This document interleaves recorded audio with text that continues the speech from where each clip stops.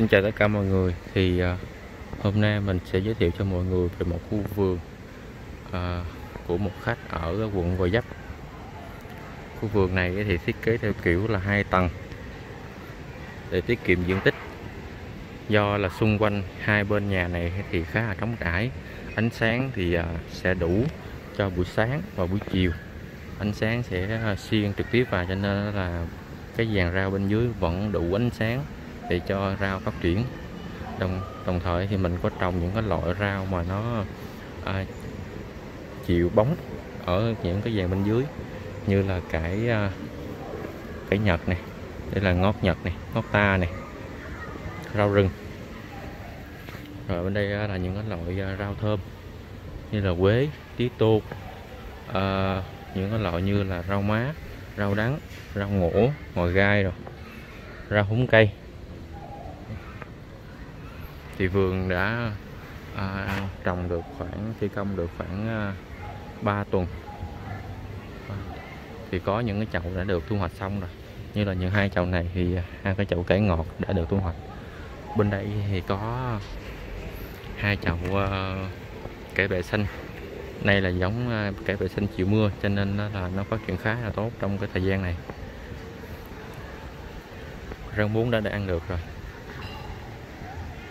rau muống này thì nó phát triển khá là tốt.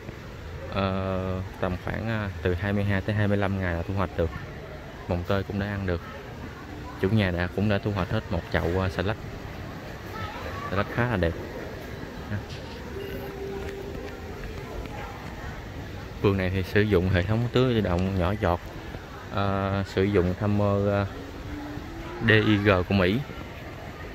Sử dụng pin 9V thì thời gian thời lượng pin thì cũng khoảng à, được à, được à, 3 tháng hơn. Có hai chậu dền ờ, khá là xinh. Hôm nay có thu một chậu rau đai. Rau đai rất là đẹp. Mình cũng ờ, để lại gốc để hôm sau những cái cây con bên dưới nó lên lại một lần nữa thì mình sẽ ăn được một đợt nữa. Sau đó mình sẽ nhổ gốc rồi xử lý đất sau. Mình sẽ quay à, cận cảnh những chậu rau cho mọi người xem nhé.